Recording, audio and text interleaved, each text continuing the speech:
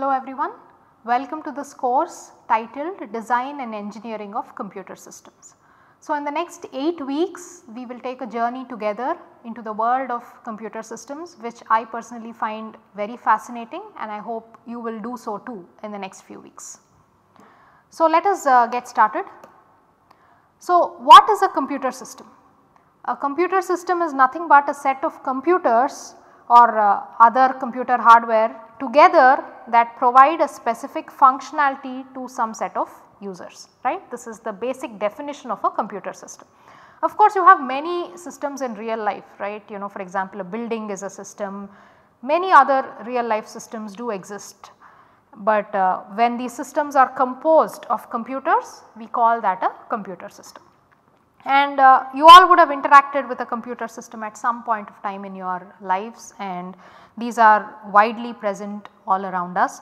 For example, if you have uh, you know purchased something online, you have used an e-commerce website or if you have booked tickets online, if you have used a video conferencing system to access uh, content or to talk to anybody over a video conference, if you have streamed any movies online, you have used an online banking service uh, for online transactions in your bank account or even taking this course right? You are taking this course on an online computer system right? Which is streaming all of these videos to you which is letting you take exams online. All of these are examples of real life computer systems right? And the goal of this course is to help you understand how these computer systems work right. So, these computer systems are made up of various smaller components or subsystems.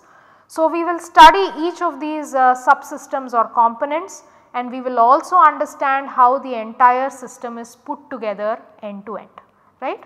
That is the goal of this course. So, let us begin with understanding what are the components of a computer system. Okay. So, the first thing is of course there is some user software right. This is what you interact with in a computer system. For example, you have your web browser using which you are opening a website then there is a web server that is actually serving some content to you that is streaming this video to you. You have video players, you have mobile applications, you have games right all of this is user software that you know software programs that you as a user interact with. For example, an example of uh, user software is a web server. And another example is a web browser on which you are watching this video okay? And the browser and the server talk to each other. Then underlying this user software you have system software like the operating system. You know your browser is running on Linux or Windows or some operating system like this. And there are other system software to manage networks and so on right and all of this user and system software is running on underlying hardware. You know you have your CPU, memory, the disk, the various routers that form the network. For example, your browser is talking to a server to fetch this video to you and this traffic is going over a series of routers over the internet right. All of these are the various components in a computer system. And a computer system is not just one or two computers, it is actually a large distributed systems, right. There is a large set of computers that are distributed running on you know a cloud or a data center or something like this, right. So, real life systems are quite complex and they have all of these components like user software, system software, hardware and so on. So, what makes real life computer systems interesting to study? Why do we need a course on it? That is because real life systems are complex. As we have seen there are multiple different components that are interacting like software, hardware and everything and all of these components are built independently and they are somehow put together right. So, somebody builds the server, somebody builds some database, somebody builds the system that is storing these video lectures all of these are built by different people and they are assembled together for a common purpose. So, therefore, real life computer systems are quite complex and there are a lot of other issues that can happen like failures, bugs, crashes, the power may go off, a hard disk may crash right all of these happen and in spite of all of these complexities of real life we still expect these computer systems to do certain things right. We expect the system to have what is called functional correctness that is when you book a ticket on a website you expect that your ticket actually gets booked and you do not want the website to say oh no we lost power therefore we lost your reservation or there was some bug in our code therefore we did not book your ticket right you do not want to hear that. So, we expect certain functional correctness that the system does whatever it is supposed to do. We also expect performance right when you book your ticket you expect the whole transaction to finish in a few minutes you do not want to sit in front of a computer for 1 hour to book your train ticket right that is not what we want. We want the whole thing to be quick efficient in spite of there being a large number of users or lots of data and so on.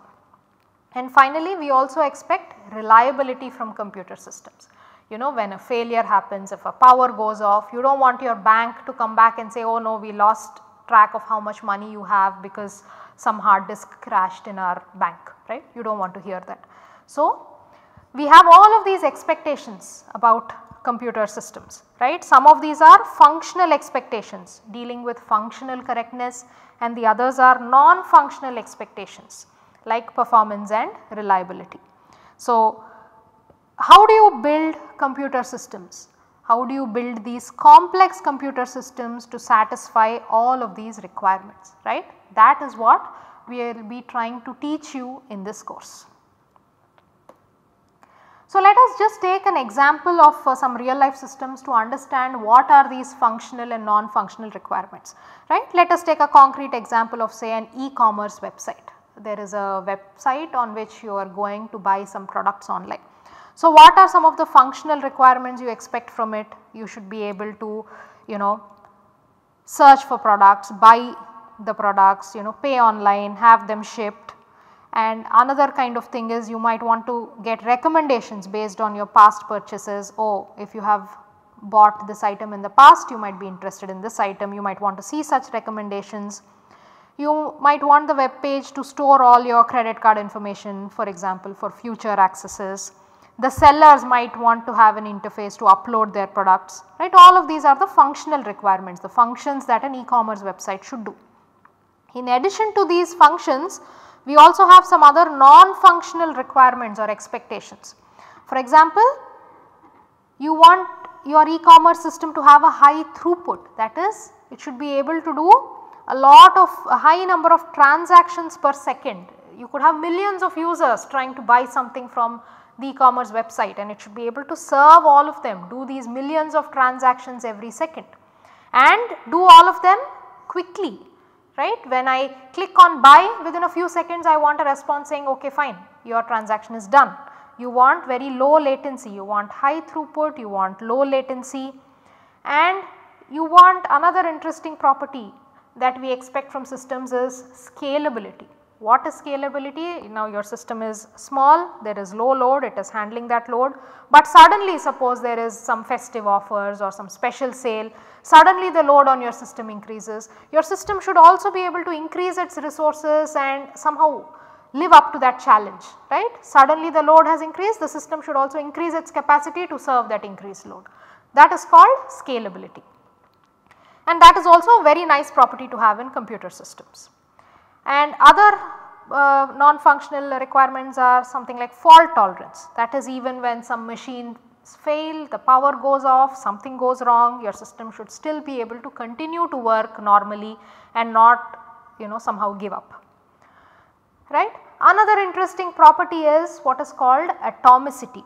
So, what is atomicity? Atomicity means when you are doing multiple things you want all of them to happen or you want none of them to happen, but you do not want something half and half to happen. I will give you an example. So, suppose you are trying to buy a product online on an e-commerce website. You do not want a situation where the website has taken your payment, charged your credit card and somehow some crash happened and then it forgot that it has to ship the product to you, right. You do not want that. If you have charged my credit card, you please ship the product to me. Otherwise, if some failure has happened, then fine you do not even charge my credit card and you do not ship I am ok with that. But you cannot do half of an operation charging my credit card and then ignore the other half which is shipping me the product. right. So, for most of uh, for a lot of computer systems there is some notions of these atomicity that all of these things should either happen together or do not do anything at all right. This is also a very interesting property that we you may not have thought of it explicitly, but we subconsciously we expect such things from computer systems. And another property is uh, consistency that is you know no matter where you access a system from it should show you consistent information. For example, if I am accessing my shopping cart from my phone or laptop I should see the same set of products right. So, that is consistency. So, these are all examples of various expectations we have from an e-commerce website. So, similarly we can uh, list down various other computer systems in real life and what are all the expectations we have from them. So, I have some examples here and I am sure you can also think of your own examples. For example, if there is a video streaming service, you want to be able to you know watch movies efficiently, quickly without a lot of lag or buffering you might want to get recommendations for movies and you know you want to be able to have some billing and charging infrastructure and you want your some kind of scalability for example if there is a popular video being streamed with a lot of people watching you do not want the video to get stuck too many times right all of these are expectations from a video streaming service. So, what happens if you consider an online banking service? Again this also has similar expectations with respect to you know good performance, throughput, efficiency and all of that. But for a banking service things like you know the integrity of your data all of these become more important. You do not want your bank to say oh no something happened I lost all your account information. It is okay if some video streaming service says sorry we lost your favorite movie you know it is no longer stored something happened we lost it but you can't have your bank lose your data right that is very bad. So, different systems even though the basic set of requirements are more or less the same, different systems emphasize on different things right. For a video streaming service performance, uh, latency, quickly uh, starting to stream is more important whereas for a bank integrity of your account data is more important. Similarly, if you consider an instant messaging service right quick communication as soon as I send a message all my friends should get it right that is more important and not so much maybe you know uh, integrity of your data or security or some one message here or there getting lost. That may not be as important as quick communication supporting a large number of users, the ability to send videos and photos right? All of this are more important when you are talking about instant messaging. So, similarly uh, if you let us see more examples like if there is a social media networking uh, system right? A large number of people millions of users are posting billions of messages all the time. And you want to be able to see all of these messages in real time quickly. You do not want to get a social media message after all your friends have seen it you know 2 days later. You want it quickly delivered to you. And these social media systems also handle large volumes of uh, messages from a large number of users right? And you want the system to be able to keep up with these millions of messages and billions of people on the planet using the social media website right. And of course other things like recommending suitable content or recommending new friends or new connections all of these are also other requirements. But primarily when you think of a social media uh, system scale right handling large scale is what becomes very important. Then similarly moving on if you have an online storage you know a cloud storage of files or documents. For this once again storing your data safely you know if you have a very important assignment you're, that you are doing online you do not want the assignment to just be lost the day before the deadline right? That is a disaster. So, security of your data once again becomes very important. And also the ability to have multiple users collaborate. And you know if you and your friends are working together online on some file you want to be able to see each other's changes quickly, to be able to sync up each other's changes, right. Such requirements become more important in such systems. And of course, the internet is a classic example of a large scale system that all of us use, right. You are using the internet right now to watch these NPTEL videos, right. And for the from the internet of course, all of us expect to download any amount of data, any time, all the time at high speed, right. We all have these expectations about the internet. So, the summary is that we have a lot of uh, expectations or requirements from computer systems and for different systems we have a different slightly different set of requirements right. One something is more important for some systems than the other. So fine we have all of these uh, functional and non-functional requirements. So then how do we go about satisfying them? How are real life computer systems built to satisfy all of these requirements? So any system uh, starts with a design phase right you will first put together identify what are the functional requirements, what is the system supposed to do, then put together various you know hardware, software, subsystems, components put them together to satisfy these requirements. And most of the time you will try to reuse existing software, hardware. For example, you will not write an operating system from scratch every time. You will just use what are the various uh, subsystems available to you, you will reuse them. And you will put together, you will design and put together a small system first. And then you might think about performance engineering. You might think about okay let me measure the performance of my system. How much throughput am I getting? How many transactions per second? What is the response time of my system? What is the capacity of my system? So, you will measure all of these things right. You will define certain metrics and measure them. And if any of these metrics are not up to your expectations then you will tune the system. You will tweak the system somehow to improve its performance. You will also check for scalability. So, tomorrow if my load, if my demand on the system increases and I want to give more resources, add more resources to the system, will its performance increase? You will test for that as well, right. And you will also start thinking about reliability. You know what if failures happen? Is my system robust to failures? Can I guarantee atomicity, consistency, integrity of the data, all of these. And if any of these are not met, you will go back to the design phase, tweak the design, performance is not met, reliability is not met, you will tweak the design, then come back, measure it again, then go back, right. So, overall it is an iterative process, nobody writes just uh, builds an entire large scale system by writing code in one sitting, right, that never happens in real life. It is an iterative process, you keep going over all of these things. So, this course is meant to give you an idea about all of these different steps right. We will see how do you go about designing a real life computer system, what are the various subsystems involved, how do you put them together, what is meant by performance, how do you measure performance, how do you tune performance, how do you guarantee scalability, how do you guarantee reliability, what are the various concepts involved in this iterative process? This course will try to cover them in some detail. So, this is the week by week outline of this course. In the first week we will simply do an introduction to the course where for example this lecture I have introduced you to what are computer systems. And in the next lecture we will learn some common design principles that are common across all the other lectures in the course. We will just start with a brief overview of these common principles.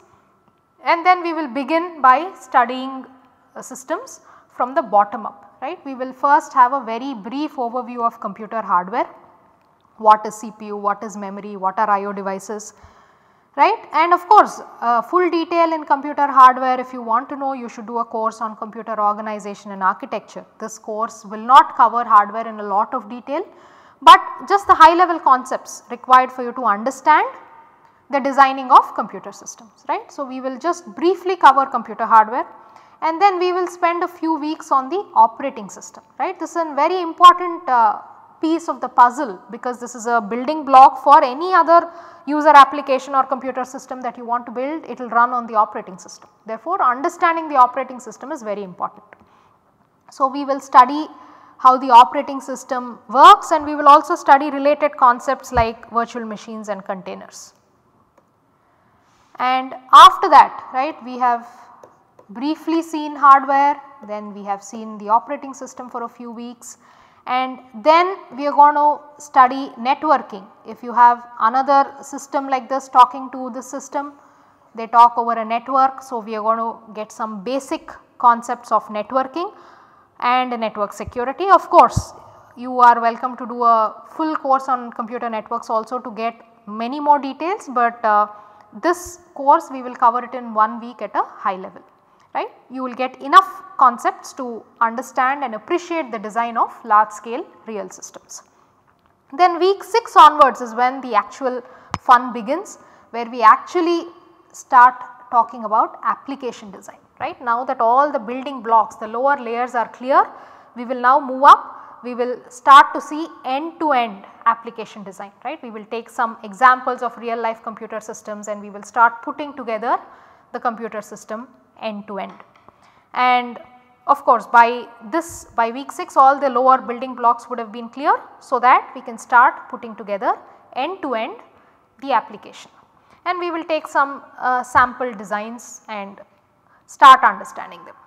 And in week 7 we are going to look at performance measurement and tuning. You know what does it mean to have good performance, what are the metrics, how do you measure them, how do you tune performance, how do you make systems more efficient right? Given some resources get the best out of those resources. And how do you make systems more scalable? That is if I give more resources will you still continue to do well? Right? These are two orthogonal questions and we will study both of them. And then in week 8 is when we will move on to reliability, fault tolerance, in spite of failures how do you guarantee correct performance of the system. And by the end of these 8 weeks the final goal of this course is you will be able to understand the workings of a real life computer system like say an e-commerce website or a railway ticket reservation system whatever it is right. You will be able to look at the system and understand what are all the various components in it and understand the design end to end right that is the goal of this course. So, what are the prerequisites? Uh, ideally you should have taken a previous uh, some courses in computer science right. This should not be your first course in computer science at the very least a basic introductory computer programming course should have been done by you otherwise it is very hard to appreciate some of the things that we are going to cover in this course. And also a general interest in computer systems and programming is going to be very useful to do this course. And as you may have seen in the outline right this course overlaps with many other courses in computer science like operating systems, networking, architecture, virtualization, distributed systems, cloud computing right. So, this course will have elements from all of these courses in some extent to some extent. Of course, you need not have done any of these courses before we are not assuming knowledge of any of these courses and whatever information about these courses about an operating system or a network is required we will cover all of that in this course. We will start from the basics. We will not assume any prior knowledge of any of these courses. But of course, if you have done some subset of these courses already, then you will still benefit from taking this course and getting a end to end complete picture of a computer system, right. If you have done for example just operating systems, you can still understand there are other parts of the course that will tie up all the things together for you. So, this is the prerequisites of uh, who should be taking this course. So, to summarize that is the end uh, we have reached the end of the first lecture. In this lecture I have given you a small flavor and introduction of what are computer systems in real life, what do we expect from these computer systems and what is the process in which real life computer systems are built. And I have also briefly given you an outline of this course as to what we are going to be doing in the next 8 weeks right. Uh, so, before we close uh, today's lecture I would like to leave you with a thought of try to look around and in your daily life see what are some of the examples of computer systems that you find right. What are the computer systems that you interact with in your day to day life and what are the functional and non-functional requirements of such systems. What do you expect from these systems and do existing systems meet these requirements that you have right. This is a good exercise to just get you comfortable thinking about computer systems. So, that is all I have for today. Thank you very much and we will continue this course in the next lecture. Thanks.